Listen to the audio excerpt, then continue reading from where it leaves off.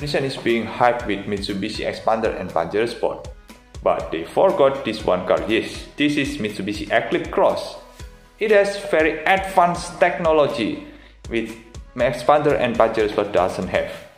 Want to know? Let me tell you the safety features especially. Yeah, it has 7 airbags, ABS, EBD, brake assist, active stability control, hill start assist, steering assist, forward collision mitigation system, ultrasonic misacceleration mitigation system.